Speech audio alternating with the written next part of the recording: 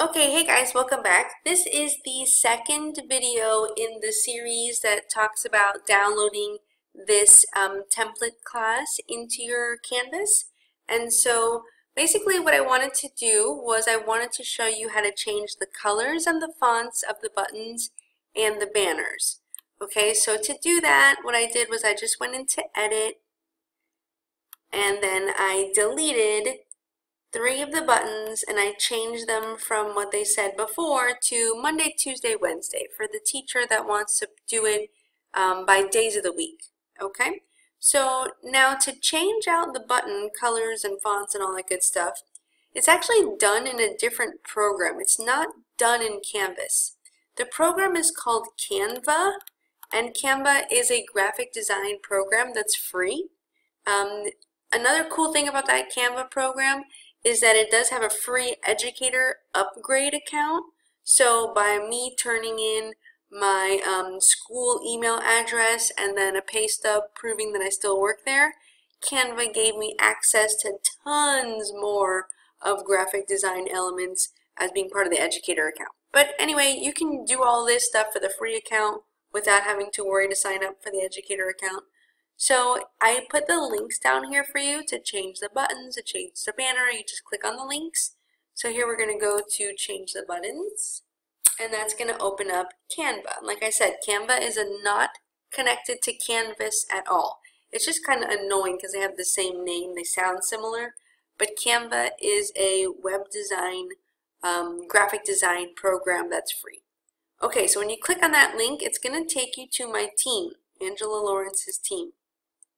Okay, my team here, this is all my shared graphics. So I have my shared buttons and banners and thumbnails and the Meet the Teacher slides and this is um, buttons from the, ooh, looks like somebody's in here right now editing, that's funny, hello. Um, actually, if you want to see people, I've got a ton of people. I have 465 people who have gone in and edited them from schools all over the country, gone in to edit and to um, make their Canvas page. So that's pretty cool that I'm able to give back to all the people who poured into me over the years and learning this technology. It's really cool to be able to like pay it forward um, and see everybody else using the stuff. Anyway, so let's go ahead and change the button. Okay, so I know I wanted to say Monday. Got a Monday button, so here is my one that's already done. Going to look at it and say, you know what, I don't really love these uh, dots. So I'm going to click on that and hit backspace on my computer and I'm going to get rid of the dot. Okay, and I want it to be a Monday button, so I'm going to get rid of this.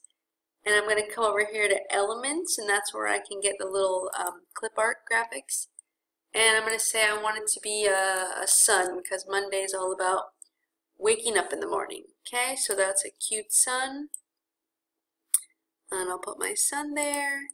And then, you know, I don't want the scripty font. My little kids can't read the scripty font. Oh, undo. Didn't want all that. Just want to get rid of that scripty font. Okay.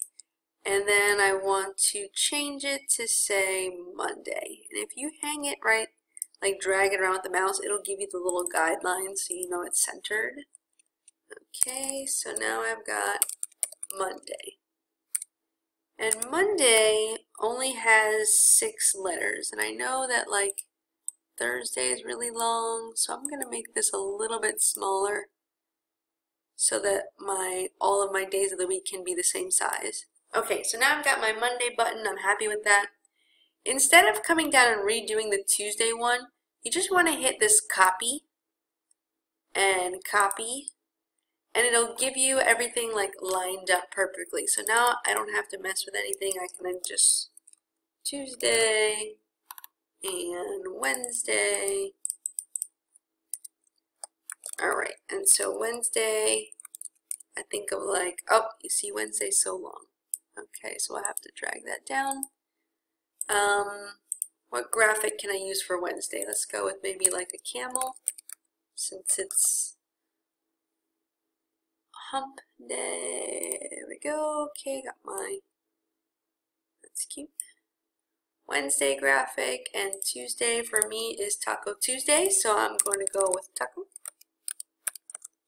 I'm just messing around. Obviously, you guys can make these with buttons that um, kind of match your course curriculum, like science or like literally anything you put in there. If you put in science, social studies, you get tons of related graphics. So it's a really cool program. Um, but now I've got the buttons the way I want them. You know, I'm going to change the color. Up here, if you click on that, this gives you the color that it is. You've got a palette made for you.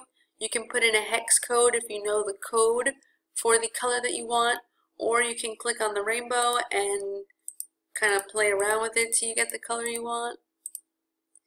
So I don't have a hex code, but we're going to make them all different colors. Okay, so Monday is going to be that color, and then Tuesday, I'm going to come back into my color, and I'm going to go with a lighter color for Tuesday, and then Wednesday.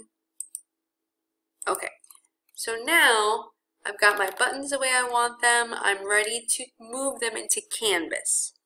Alright, to move the buttons into Canvas, I've got to save them to my computer. So I'm going to come over here to this download option. And PNG is what it um, suggests, and we're going to leave it on that. It's just a bigger file. It's bigger than a JPEG, but it's the same thing. So we'll leave that. And then it shows me that I've got 28 buttons in here. I don't want to download all 28 buttons. I just want the first three. So I'm going to choose this and then come over here and select the first three buttons because those are the only ones that I want to edit or save to my computer. Then I choose done. I've got the three that I want and download. And then Canva is going to download them. Okay, we can close that. And they're down at the bottom here on the left and it puts them in a zip file for you. So you can double click to get the zip file open Sorry, my studio button is down here. My computer's not feeling it. There we go. And um, so there, there's my three buttons, but they're compressed. So I have to choose extract all and tell it where I want to extract them to, which I'm just extracting them to my download folder.